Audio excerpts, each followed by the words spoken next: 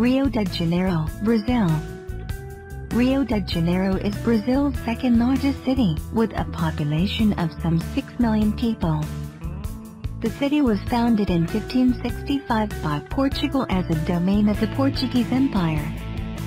Today, it provides the headquarters to a number of Brazilian oil, mining and telecommunications companies, and is Brazil's second largest center of R&D.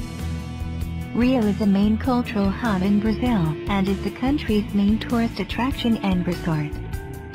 The city receives almost 3 million international visitors every year. Perhaps the most recognized annual event on Rio de Janeiro's calendar is its Carnival, which traditionally takes place immediately before the 40 days of Lent in the Roman Catholic calendar. Whilst Carnival was originally Roman Catholic tradition, the event has taken on a much more egalitarian aspect in recent decades. Rio's Carnival is seen today as the historic root of Brazilian music, including the influence of the famous samba.